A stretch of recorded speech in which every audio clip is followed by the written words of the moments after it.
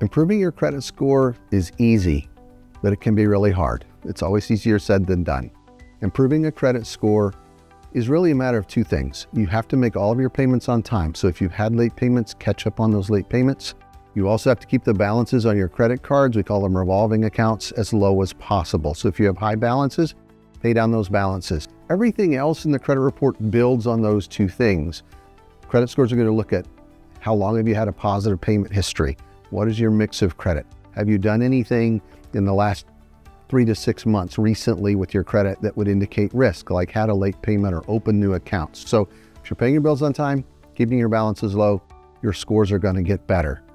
Easier said than done sometimes, but you can do it. Your credit history can be changed. It just takes time.